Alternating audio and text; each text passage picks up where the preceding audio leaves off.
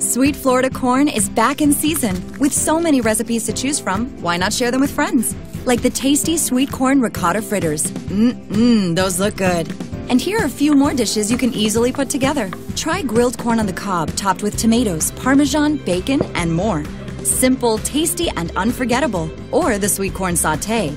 For more easy to make recipes, visit freshfromflorida.com. Look for the Fresh from Florida label when you shop because delicious is always served fresh from Florida.